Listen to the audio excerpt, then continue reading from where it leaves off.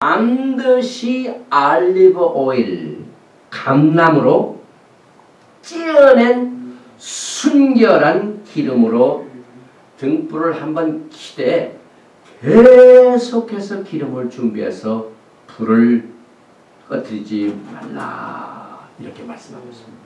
출애굽기 27장 20절에 하나님께서 모세를 통하여 너는 또 이스라엘 자손에게 명하여 감나무로 지어낸 순결한 기름을 등불을 위하여 내게로 가져오게 하고 끊이지 말고 등불을 켜대. 그러니까 이 지금 마지막 때의 이 슬기로운 처녀들은 야 감난유를 신이겨서 기름을 순수하게 다시 말하면 우리의 신앙은요 핍박과 환란과 어려움과 어려움의 핍박을 받게 될적 하나님의 말씀에 올바로 설정에 환영받고 인기고 있는 게 아니라 이렇게 눌리고 저를 진이긴 이 순수한 아멘. 신앙을 주님께서 받습니다. 아멘.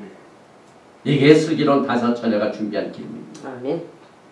그리고 이것을 한 번만 준비하지 말고 한 번 준비했다 안 오시면 에이 관둬야 되겠다 이게 아닙니다. 신랑이 오시는 날까지 아멘. 이 등불을 끊이지 말라. 신부들은 신랑을 기다리는 일을 이례적으로 하지 말고 영구하라. 아멘. 이렇게 말씀하고 있어요. 이것이 토라의 바탕에서 본 처녀와 등과 기름. 그래서 시편 119편 105절에 주의 말씀은 내 발의 등이요 내 길의 빛이니이다. 대저 명령은 등불이요 법은 빛이요 훈계의 책망은 곧 생명의 길이다. 자만 6장 23절에 토라가 생명의 길이요 등불이요 빛이요 이렇게 말씀하고 있습니다. 다시 말하면 시온의 영광을 위하여 기다리는 날 신랑 대신 예수님을 만나 결혼하는 날을 기다리는 그 자체가 등입니다.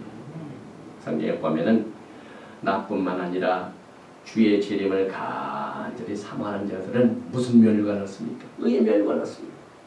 이사에서 62장 1절에 너는 시온의 공의가 빛같이 예루살렘의 구원이 횃불같이 나타나도록 시온을 위하여 잠잠하지 아니하며 예루살렘에 쉬지 아니할 것인지 영광의 신랑 되신 예수님을 기다리는 일을 쉬지 합니다. 그런데 이제 슬기로운 처녀와 미련한 처녀가 차이가 납니다. 슬기로운 처녀는 신랑을 맞아서 결혼 잔치에 참여하고 미련한 처녀는 문이 닫힙니다. 그 이유는 다섯은 슬기롭고 다섯은 미련하기 때문에 그렇습니다. 여기서 슬기로운 다섯 처녀는 토라를 제대로 말씀으로 준비해가지고 주님을 기다린 자입니다. 미련한 다섯 처녀는 인본주의로 자기 뜻대로 형편에 맞게 자기 스타일로 다른 사람들이 다 하는 방법대로 쉽게 했습니다.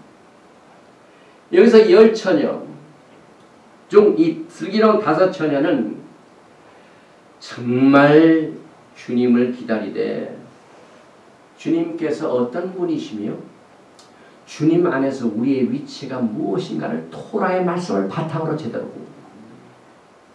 우리는 이 땅에 사는 동안 우리의 위치가 무엇인가를 분명히 할 줄 알아야 되지.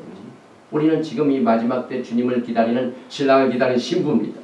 그러니 신부가 뭘 정제를 지켜야죠. 정말 깨끗한 마음을 가져야 되죠.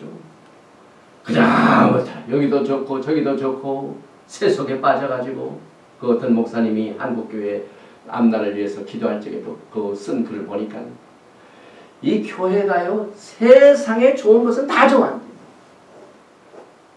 그래서 하여튼 세상에서 좋아하는 것은 전부 다 교회에 있다는 그러니 교회의 정체성이 아주 흐리죠. 신부가 그렇게 해서 되겠죠. 신랑 대신 예수님 한번 좋아하는 것으로 가득 차야죠. 이 남자도 좋고 저 남자도 좋고 그래서 여기서 이 다섯은 성경의 모세, 오경, 토라를 말합니다. 그리고 지혜와 명철은 토라를 따르는 것에서 지혜가 있습니다. 아멘. 잠언 3장 13절에 지혜를 얻은 자와 명철을 얻은 자는 복이 있나니 잠언 3장 18절에 지혜는 그 얻은 자에게 생명나무라 지혜를 가진 자는 복되도다.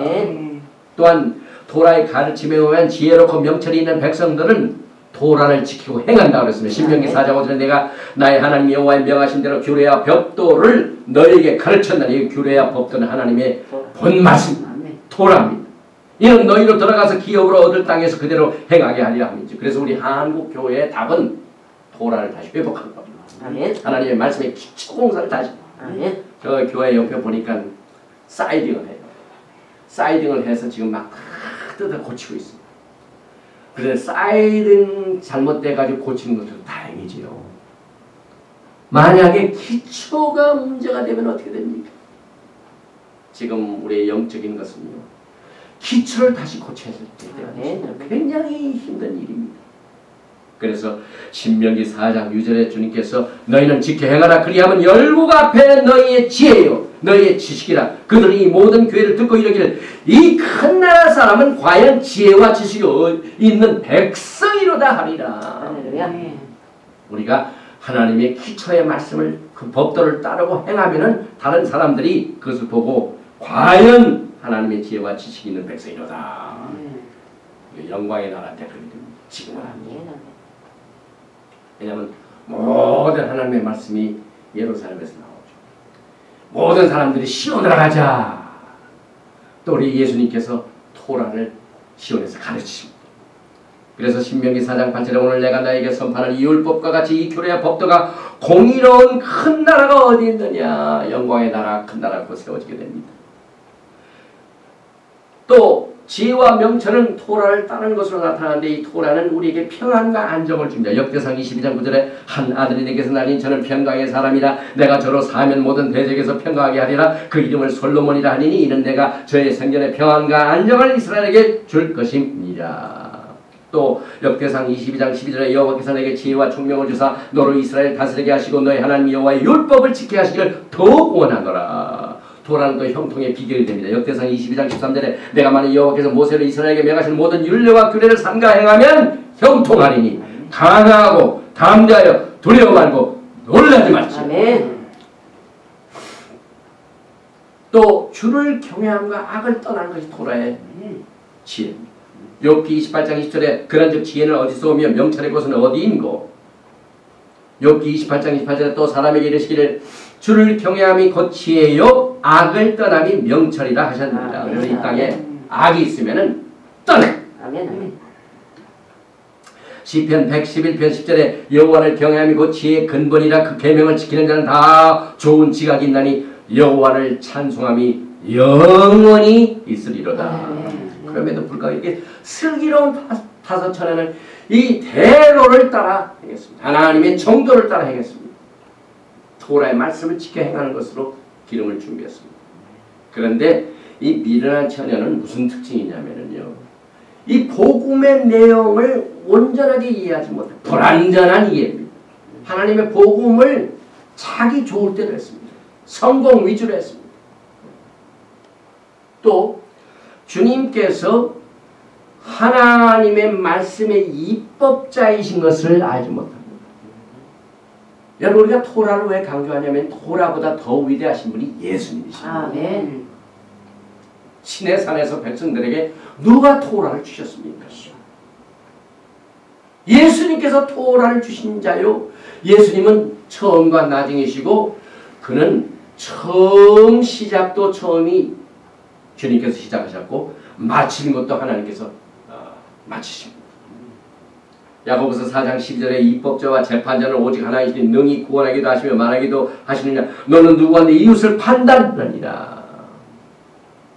또 예수님께서는 이스라엘에 흩어진 자들을 하여 나무에 달려 죽으신 것을 모릅니다.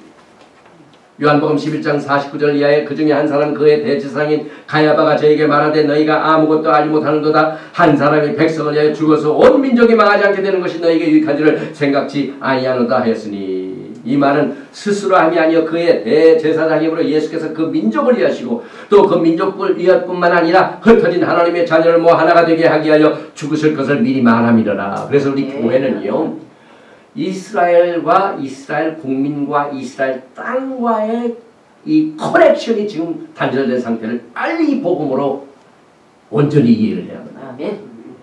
이 복음의 내용을 교회가 완전하게 이해하지 못하는 부분이 다 있고